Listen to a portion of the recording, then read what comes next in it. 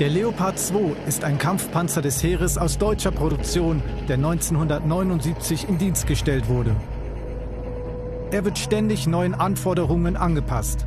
Die aktuellste Variante des Leopard 2 heißt A7V, wobei das V für verbessert steht. Insgesamt hat sich der Leopard 2 als einer der fortschrittlichsten und zuverlässigsten Panzer der Welt erwiesen und bleibt eine wichtige Waffe in den Armeen vieler Nationen.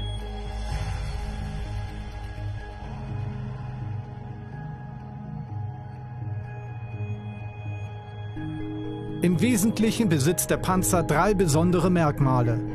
Erstens Waffenstabilisierung. Diese Fähigkeit wurde bereits in früheren Versionen eingeführt und immer weiterentwickelt. Die Kanone und der Turm sind stabilisiert. So bleibt die Waffenanlage unter allen äußeren Bedingungen auf das Ziel gerichtet. Damit ist die Trefferwahrscheinlichkeit beim ersten Schuss verbessert. Zweitens separate Stromversorgung. Der Leopard 2 A7V verfügt über ein externes Stromerzeugungsaggregat mit mehreren Betriebsstufen. Damit wird der Panzer beispielsweise auch ohne laufenden Motor vollständig elektrisch versorgt, ohne die Batterien zu belasten. So bleibt der Panzer länger gefechtsbereit. Drittens Klimatisierung. Die neue Version des Panzers ist klimatisiert. Nicht ganz so, wie wir es aus einem normalen Pkw kennen aber es macht den Einsatz der Soldatinnen und Soldaten etwas erträglicher.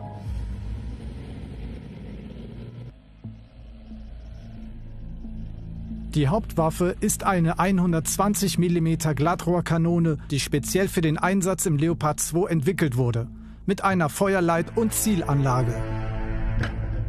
Die Kanone besitzt einen Schwenkbereich von 360 Grad und einen Höhenrichtbereich von minus 9 Grad bis plus 20 Grad. Neben der Hauptwaffe hat der Kampfpanzer zwei Maschinengewehre und eine Mehrfachwurfanlage, um Nebelwurfkörper und spreng- oder nicht tödliche Munition zu verschießen.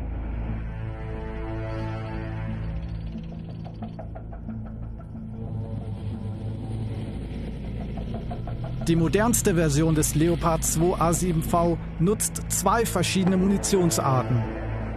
Die erste Munitionsart ist das KE-Geschoss gegen Panzer. KE steht für kinetische Energie. Es handelt sich um ein Wuchtgeschoss. Dabei hängt die Wirkung des Geschosses nur von der kinetischen Energie ab, also von der Wechselwirkung von Masse, Geschwindigkeit und Beschleunigung. Es lässt sich in etwa mit einer Kanonenkugel auf See vergleichen, die andere Schiffe versenkt, indem sie sie einfach durchschlägt. Beim KE-Geschoss auf Panzer ist die Wirkung verheerend.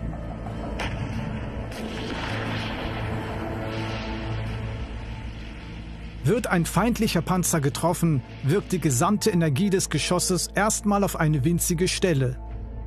Da das Material des Geschosses härter als das des Panzers ist, kann es die Panzerwand durchdringen. Die Splitter breiten sich explosionsartig im Inneren aus. Die zweite Munitionsart ist das High Explosive Geschoss HE. Es handelt sich um ein Sprenggeschoss. Es wird vor allem gegen leicht befestigte Stellungen oder gegen leicht und mittelgepanzerte Fahrzeuge eingesetzt. Bei dieser zweiten Munitionsart verbirgt sich im Gefechtskopf eine Sprengladung, die mit einer Kombination aus Kontakt und Zeitzünde auslöst.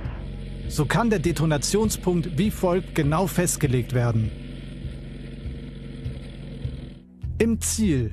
Der Kontakt löst die Sprengung aus. Nach dem Durchdringen einer Befestigung. Die Sprengung löst nach dem Kontakt nach einer vordefinierten Dauer aus. Und über dem Ziel. Die Sprengung löst ohne Kontakt über dem Ziel zeitgesteuert aus.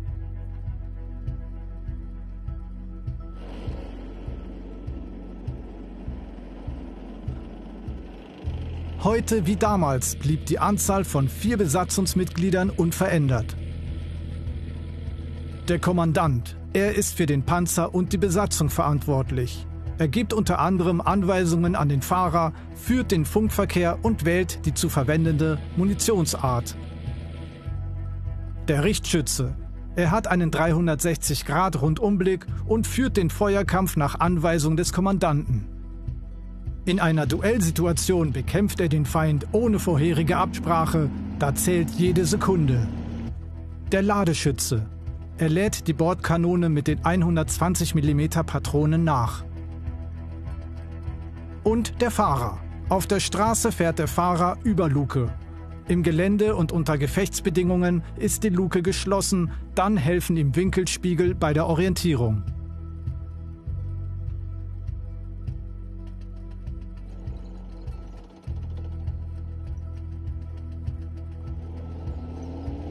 Der Leopard 1 war zwischen 1965 und 2003 in den Versionen A1 bis A5 in der Bundeswehr im Einsatz.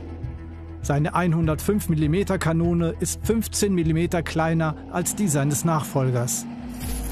Er ist grob ein Drittel leichter als der Leopard 2. Mit 830 PS gegenüber 1500 PS hat der Leopard 1 zwar viel weniger Motorleistung, ist aber mit 65 Stundenkilometer fast so schnell wie sein großer Bruder. Mit entsprechender Zusatzausrüstung können beide Leopards Gewässer bis zu 4 Meter Tiefe durchqueren.